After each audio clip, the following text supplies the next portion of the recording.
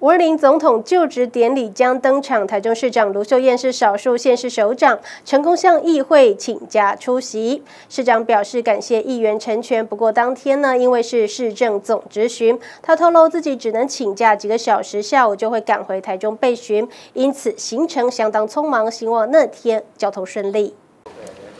好，那备查啊，继续。台中市议会定期会一读会，台中市长卢秀恩出席。有议员提出，市长参加五二零总统就职典礼，应该在议事堂上来致谢，但却遭到了议长的否决。好，三位。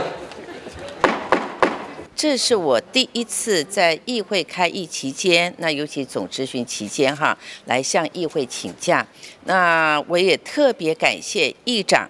副议长还有全体议员大家的帮忙哈，那因为这个市长在总咨询期间的请假，究竟啊这个是非常非常少见的哈，那也是我这个啊上任以来第一次在议会开议期间，那向这个呃尤其总咨询期间向这个议会请假哈，那感谢所呃感谢议员们大家的成全。中华民国第十六任的总统、副总统就职典礼将在二十号举行。卢秀燕表示，适逢总执询，因此请假了几个小时，将会有首席副市长黄国荣代理，而下午就会赶回台中备询。因为总执行期间，它是全天候进行，那所以我就非常的行程非常的匆忙哈，希望那天交通都很顺利。那所以那天就是前往参加以后呢，下午就会赶回来。备询哈，所以只是请几个小时而已。谢谢。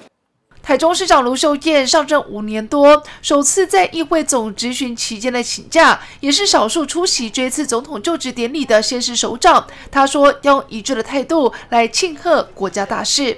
这里将话台中采访到。